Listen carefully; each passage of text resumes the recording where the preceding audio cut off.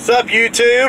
Facebook. Blah, can't talk today. Hear the radio blaring in the background, which I just turned down, you would know that the weather alert's going off. About to go green, baby.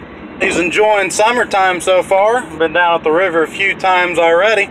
Was down there like, uh, I don't know, like two weeks ago, and there was a couple crackheads down there.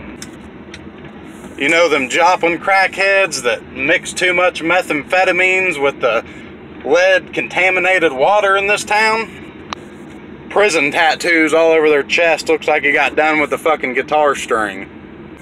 That's the kind of motherfuckers I'm talking about that I seen down here the other day. And they were making fun of this big girl because she had a two-piece on. Oh, Michelin Man's making a new commercial. You're the kind of people in this world that I just want to slap the shit out of. So next time you're at the river and you're smoking your meth or doing whatever, don't make fun of people who are trying to have a good time. People be like, Cameron, why are you always talking about crackheads?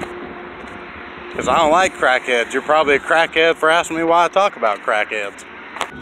By no means do I like crackheads. I think the only people who like crackheads are other crackheads because they got crack.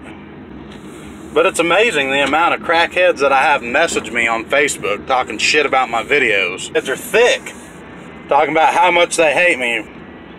But then I got their girlfriend in my inbox asking for a Copenhagen Bandit t-shirt. I don't know if I accidentally joined like a meth head group or like Joplin giving crack or some shit. But they're thick, and I can tell you're a crackhead when you message me too, because your profile's a picture of your scrawny ass standing up there in front of a rebel flag. Fuck! Learn how to drive on a fucking roundabout. Point of the day, Joplin, stay safe, stay out of these storms, have a plan, and don't be a crackhead. It's Copenhagen Bandit, Dirty Rooster Production. I'm out.